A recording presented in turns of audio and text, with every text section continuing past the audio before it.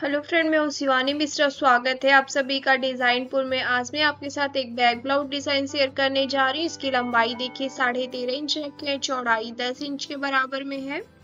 Shoulder की चौड़ाई साढ़े पाँच इंच है, आर्म होल की भी साढ़े पाँच इंच रखे। गले की चौड़ाई में टू पॉइंट सेवन इंच रख रही हूँ।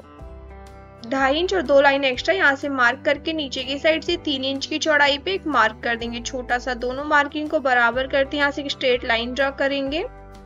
अब गले की लेंथ लेंगे तो गले की लंबाई देखिए, मैं 10 इंच रख रही हूँ। 10 इंच के बराबर में लाइन ड्रॉ करके बिल्कुल बराबर में यहाँ से एक लाइन ड्रॉ कर दीजिएगा। अब गले की डिज़ाइन का मार्क करेंगे।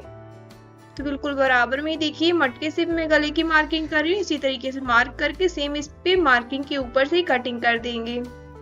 अब इसके साथ में ब्लाउज का मेन फैब्रिक लेंगे। दोनों को इक्वली रखेंगे बराबर करते हुए। और इसके बाद ब्लाउज की भी सेम कटिंग करेंगे जैसे मैंने अस्तर पे गले कटिंग कर रखी है। अब इसकी स्टिचिंग करनी है, दोनों फैब्रिक को साथ में पहले रख लीजिएगा इक्वली तो मैं पिन करके रख रही हूँ, आप बराबर में रखते हो, फिर इस पे सिलाई लगा के दोनों पार्ट को एक दूसरे के साथ में अच्छे से अटैच कर देंगे। तो मैंने कम्प्लीटली सिलाई लगा के दोनों पार्ट को एक दूसरे के साथ में अटैच कर दिया। इसके गले पे छोटे छोटे कट लगा देंगे। कट लगाने से ये प्रॉफिट रहता है। जब गले को आप पलट कर सीधा करेंगे तो डिज़ाइन बिल्कुल बराबर में आएगी।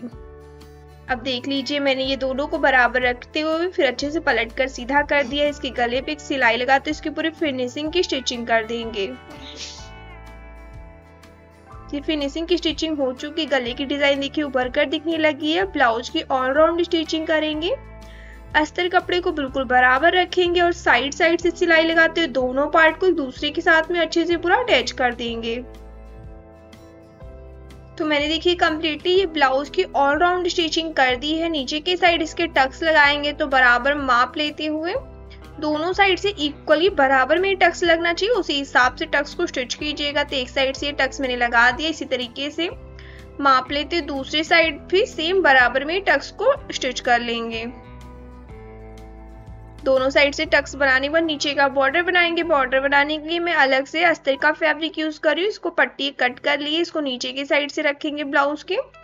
तो देख लीजिए राइट साइड से रखते हुए फिर इसको सिलाई लगा के पहले अटैच कर देंगे इसके साथ में ब्लाउज के साथ में ही।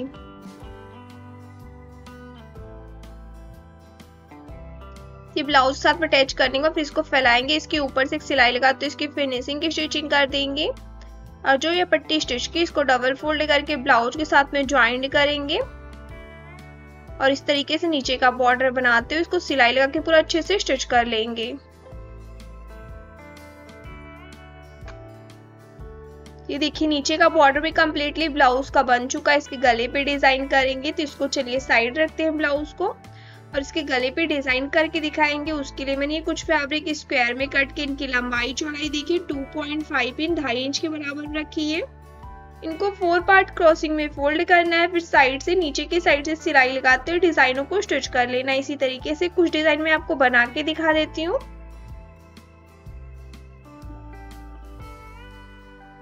ये देख लीजिए, मैंने कुछ डिज़ाइन आपको बना के दिखा दी है। इनको अच्छे से स्टिच करने के बाद फिर इनके थ्रेड को कट करके अलग कर दीजिएगा, इनको साइड रखेंगे। और मैंने ये कुछ फैब्रिक और स्क्वायर में कट के इनकी लंबाई चौड़ाई तीन इंच के बराबर रखी थ्री इंचेस इसको फोर पार्ट क्रॉसिंग में फोल्ड करना है, फिर नीचे के साइड से सिलाई लगाते हुए डिज़ाइन को स्टिच करते हुए बना लेंगे।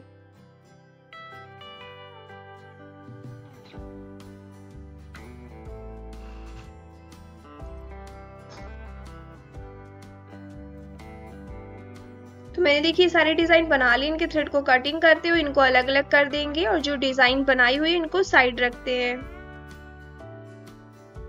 तो इस तरीके से मैंने दो कलर में दो डिज़ाइन बनाई है, दोनों की साइज़ अलग अलग मैंने बताई है आपको रखी और ये मैंने एक पट्टी कट की पट्टी की चौड़ाई 3.5 इंच रखी है, साढ़े तीन इंच इसको डबल फोल्ड करेंगे और साइड से सिलाई लगाते हुए दोनों पार्ट को एक दूसरे के साथ में अटैच कर देंगे। इसको पहले रॉन्ग साइड से स्टिच करना है।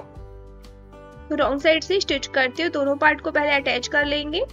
अब इसको पलट कर सीधा भी करना है। पहले स्टिच करने के बाद फिर देखिए मैं किसी भी चीज़ से अगर आप चाहे सेफ्टी पिन से या फिर नीडल की हेल्प लेते हुए या किसी भी चीज़ से प्रेस करते हुए इसे पलट कर सीधा कर लीजिएगा।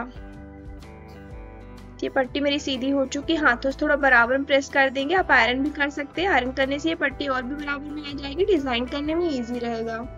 अब एक साइड इसको फोल्ड करते हुए छोटे छोटे पार्ट में इसका फ्रिल बनाना स्टार्ट करेंगे इसी तरीके से एंड तक जितने फ्रिल आए सबको ऐसे ही बना लेंगे। तो छोटे छोटे पार्ट में फोल्ड करते हुए एक साइड से सिलाई लगाते हुए अच्छे से इसका पूरा फ्रिल बना देते हैं। कि कम्प्लीटली मेरी फ्रिल वाली डिज़ाइन देखिए बन चुकी है। अब इसको साइड रखते हैं।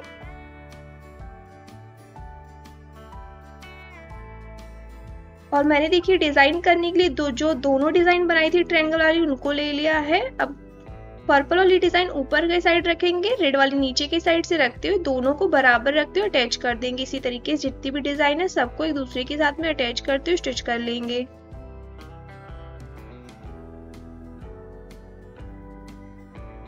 कंप्लीटली डिज़ाइन बन चुकी इनको साइड रखेंगे। और अब ब्लाउज ले लेते हैं।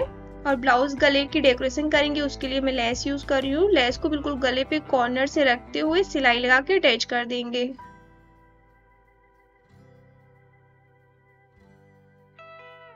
कंप्लीटली पूरे गले पे लेस की स्टिचिंग हो चुकी है। अब डिज़ाइन करेंगे डिज़ाइन करने के लिए अभी जो मैंने डिज़ाइन को बनाया है, इनको देखिए। बिल्कुल मिड से रखना, नीचे की साइड से बीच वाला पार्ट बिल्कुल ले लीजिएगा। फिर वहाँ से अटैच करेंगे। और जिस तरीके से मैं इन डिज़ाइनों को स्टिच कर रही हूँ, वीडियो में क्लियर समझ में आ रहा होगा। नीचे वाला सबसे जो नीचे का डिज़ाइन उसे नीचे की साइड से थोड़ा सा फोल्ड कर दीजिएगा, अंदर की साइड फिर स्टिच कीजिएगा। मैंने थोड़ा से अंदर की साइड फोल्ड करते हुए फिर स्टिच करी दोनों साइड से सिलाई लगा दिया है। अब जो फ्रिल बनाई थी, फ्रिल से इस पर डिज़ाइन करेंगे। तो ऊपर के साइड से लेस और फ्रिल के बीच में हाफ़ इंच का गैपिंग रखेंगे और गैपिंग इक्वली होनी चाहिए, हाफ़ इंच का पूरा इसमें। और गैपिंग रखते, फिर सिलाई लगा के इसको अटैच करेंगे। तो नीचे की साइड से देख लीजिए, जहाँ सिलाई लगाई थी सेम उसी जगह से मैंने फ्रिल को भी अटैच किया। नीचे की साइड से थोड़ा सा फ्रिल अंदर की साइड भी फोल्ड कर लीजिएगा, दूसरी साइड से भी सेम ऐसे फ्रिल की स्टिचिंग कर दी है। अब लेस ले लिए लेस को जहाँ से फ्रिल की स्टिचिंग की सेम उसी के ऊपर से रखते हुए लेस को भी पूरा स्टिच कर लीजिएगा। ठीक क्लियर वीडियो में समझ में आ रहा होगा। इस तरीके से अच्छे से पूरा लेस को अटैच कर देंगे। कॉर्नर से रखते हुए नीचे की साइड से अटैच करेंगे, दूसरे साइड से भी इसी तरीके से लेस को स्टिच कर लेंगे। तो मैंने दोनों साइड से लेस की स्टिचिंग कर दी। है जो ये डिज़ाइन बनाई है, इसकी डेकोरेशन करने के लिए मैं गोल्डन कलर की मोती यूज़ कर हूँ। जितनी भी डिज़ाइन है सभी के ऊपर से एक एक मोती टक कर देंगे इसी तरीके से।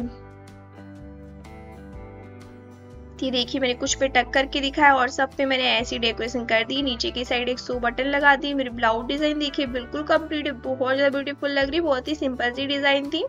अगर डिज़ाइन अच्छी लगी वीडियो को लाइक कीजिएगा, मुझे कमेंट करके बताएँ आपको मेरी ये डिज़ाइन कैसी लगी। चैनल को सब्सक्राइब कर दीजिएगा बेलाइकन को प्रेस कर दीजिएगा। हम लेटेस्ट अपडेट पाने के लिए मिलते हैं नए वीडियो में नए डिज़ाइन के साथ। Thanks for watching bye bye